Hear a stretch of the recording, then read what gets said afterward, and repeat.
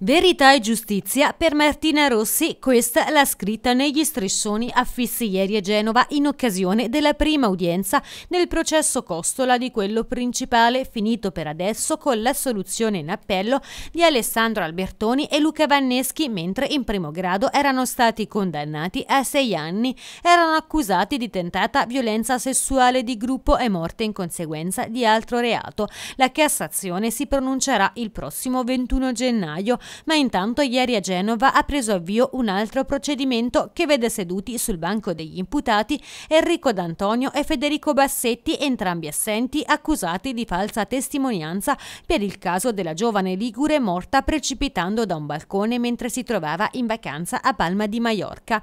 I due aretini, infatti, all'alba del 3 agosto 2011 erano nello stesso hotel dove Martina Rossi trovò la morte. Erano in compagnia delle amiche della studentessa genovese in una un'altra stanza. Secondo i magistrati, i due ragazzi di Castiglion Fibocchi avrebbero tentato di coprire gli amici Albertoni e Vanneschi. Secondo la procura, infatti, rilasciarono dichiarazioni non veritiere agli inquirenti quando furono sentiti come persone informate sui fatti. Il processo adesso è stato rinviato al prossimo 15 marzo. Fuori dall'aula, infine, in occasione dell'avvio del processo, una manifestazione pacifica ed ordinata a sostegno dei genitori della studentessa Ligure che si sono costituiti parte civile, un'iniziativa promossa dal gruppo Facebook Vogliamo Verità e Giustizia per Martina Rossi e dal collettivo Autonomi Portuali.